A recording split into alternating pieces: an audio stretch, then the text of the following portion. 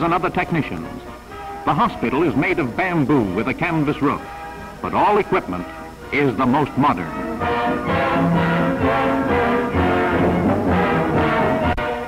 A dentally equipped setup. This hospital is as fine as any in the United States.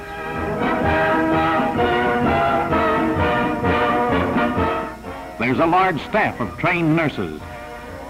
There's every kind of medicine in this efficient pharmacy and a staff of experts.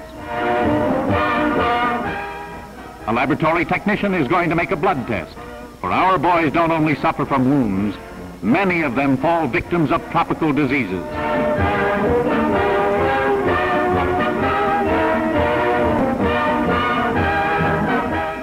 United States Signal Corps cameramen show technicians studying the blood specimen to identify microbes, if any are present.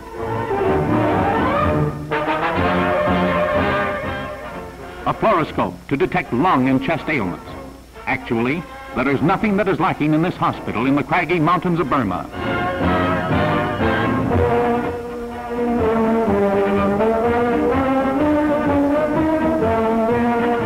As the fight against Japan rages, the casualties are numerous.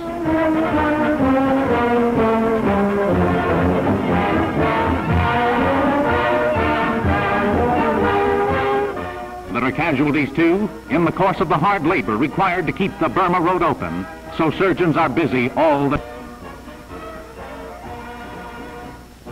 As long as friends and relatives can't come to call, doctors and nurses serve as visitors and cheer up the boys.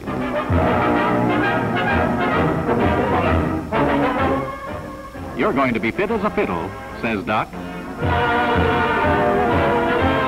Daily exercises will make fingers fit as new. A Red Cross worker brings gifts. All this gives everyone a good idea of why funds are needed for the Red Cross and why blood plasma is needed.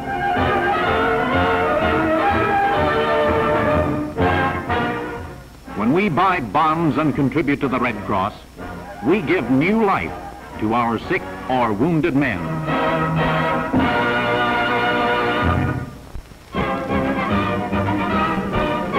John G. Shackelford, brilliant Cleveland attorney, assumes office. He has been named president of the newly formed United States League of Negro Ball Clubs, comprising teams of six and two associate teams.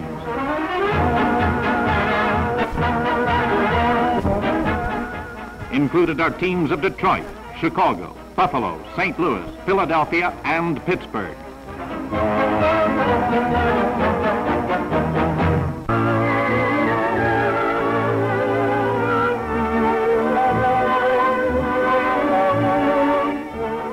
Hilda Bryant, executive of Phi Delta Kappa National Sorority, presents a medal to Evelyn Boyd.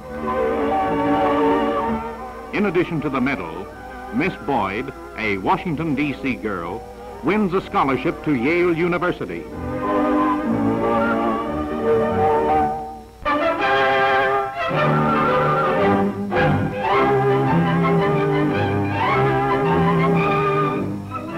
Dr. J. Price McCain Pittsburgh physician and dog enthusiast, raises prize collies. He has won many awards for them in the 18 years this has been his hobby. He took many first awards in Madison Square Garden last year and has his dogs in the movies. Mrs. Price attends to the feeding, which is all important.